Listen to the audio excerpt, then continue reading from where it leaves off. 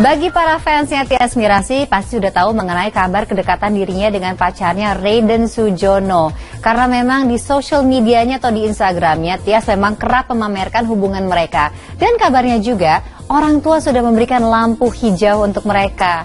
Sepertinya semuanya sudah siap ya pemirsa. Tetapi ketika ditanya, Tias mengatakan ah masih belum siap untuk menikah, mau menikmati kebersamaan dulu.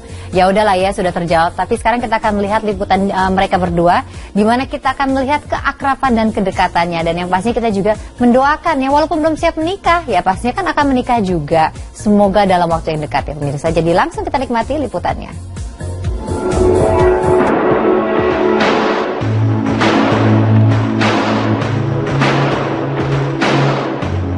Kurang lebih satu setengah tahun menjalin hubungan asmara, pasangan Tias Mirasi dan Raiden Sujono rupanya semakin mesra saja. Hal ini terlihat di akun Instagram keduanya yang kerap memamerkan kebersamaan di setiap postingan. Rupanya Tias mengaku bila ia dan pujaan hatinya memang selalu menghabiskan waktu bersama, mengingat keduanya memiliki hobi yang terbilang sama. Oh kalau sebulan nggak pernah, karena aku sama Raden kadang-kadang hampir tiap hari ketemu, karena kan ada usaha, jadi pasti ada aja yang dibahas gitu ada kerjaan apa segala macam biasanya kita hampir tiap hari ketemu.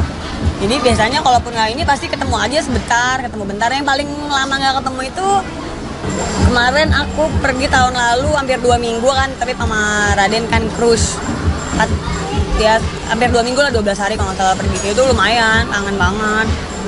Kangen ini kayak gini juga misalnya kayak lagi ini bapaknya eh bapaknya Raidennya lagi pisah gitu. Maksudnya kayak aduh aku kangen banget nih. Kangennya bukan aku nonton olahraga. Jadi kita udah pasti semua pasti bareng-bareng. Apa apa yang kita lakuin pasti bareng kecuali ngedram gue gak bisa ngedram sekarang tapi apa apa jadi bisa bareng juga karena mau, mau insya Allah mau ada project bareng sama dia. Karena kan baru olah vokal. Jadi di dunia musiknya bisa jadi barengan juga gitu. Dua-duanya manja. Dua-duanya ya ada waktunya kalau lagi ganti-gantian aja. Tapi emang orangnya ini kok.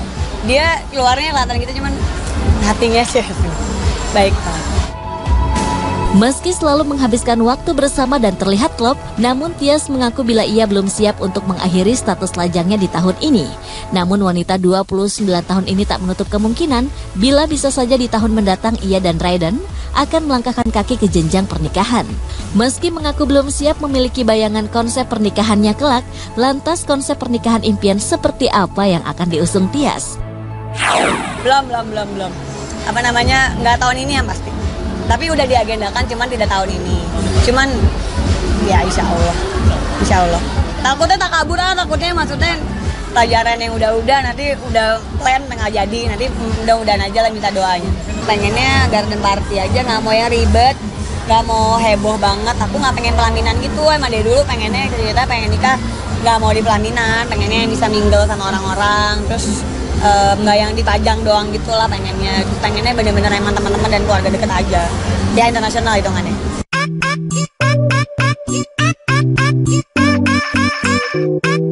Bila biasanya wanita yang hampir menginjak usia kepala tiga dibuat resah, mengingat belum kunjung menikah, namun itu tak terjadi pada Tias. Bahkan Tias mengaku bila pihak keluarganya pun tak menuntutnya untuk segera melepas masa lajang. Namun hubungan dengan Raiden sudah mendapat lampu hijau dari keluarga besar kedua belah pihak, mengingat keluarganya dan Raiden memang sudah kenal sejak lama.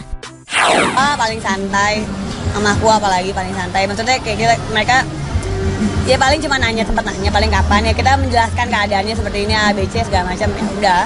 Tapi mereka support pokoknya kapan pun kapan pun mereka support. Keluarga besar udah. Karena aku kenal Raiden dari SMP teman lama iya. Jadinya lucu lah kita. Kalau celebek juga sih dulu mah juga nggak naksir. Udah SMP biasa aja temenan doang.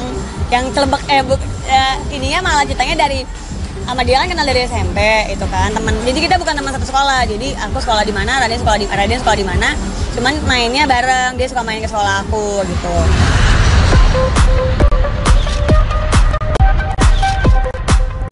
Sebagai seorang selebritis tentu memiliki konsekuensi yaitu tidak bisa terlepas dari bahan pemberitaan. Hal itu disadari oleh Tias Mirasi. Tias mengaku beruntung mengingat Raiden sangat mengerti dengan pekerjaannya. Bahkan wanita kelahiran 8 April ini juga mengaku bila Raiden merupakan sosok pria yang sangat mendukung karirnya di dunia hiburan tanah air.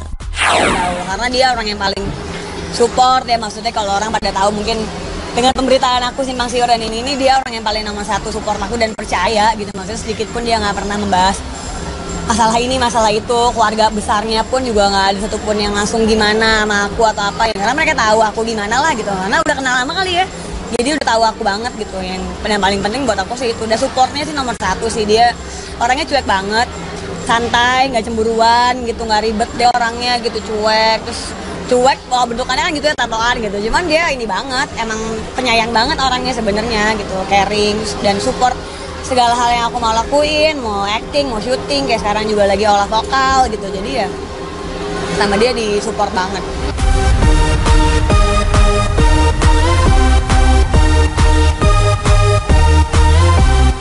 Yang bisa mingle sama orang-orang terus nggak um, yang dipajang doang gitu lah pengennya. Pengennya bener-bener emang teman-teman dan keluarga deket aja. Ya internasional hitungannya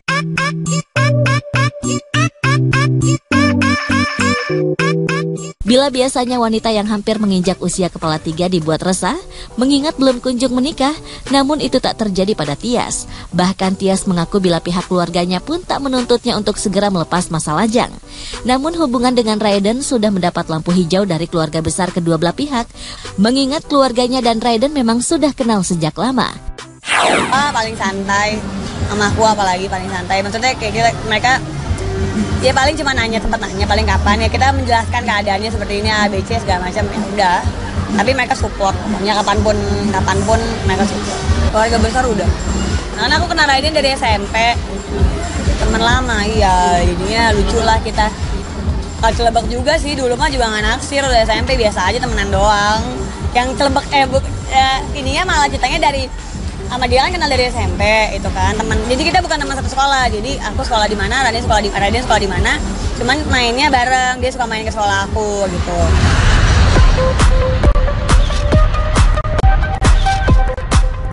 Sebagai seorang selebritis tentu memiliki konsekuensi yaitu tidak bisa terlepas dari bahan pemberitaan. Hal itu disadari oleh Tias Mirasi. Tias mengaku beruntung mengingat Raiden sangat mengerti dengan pekerjaannya. Bahkan wanita kelahiran 8 April ini juga mengaku bila Raiden merupakan sosok pria yang sangat mendukung karirnya di dunia hiburan tanah air.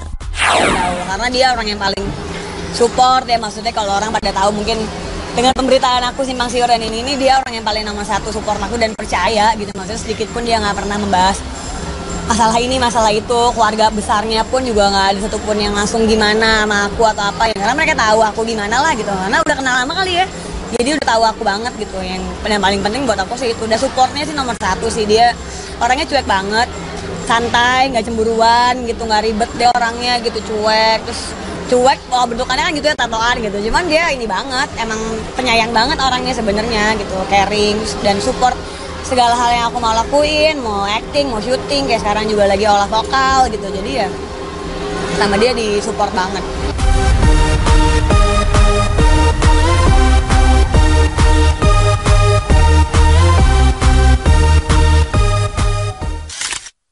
Memang seperti Instagram jadi sumber yang terpercaya ya pemirsa untuk bisa mengetahui bagaimana status seseorang dengan pacarnya dan juga kira-kira statusnya dengan para sis atau endorsis.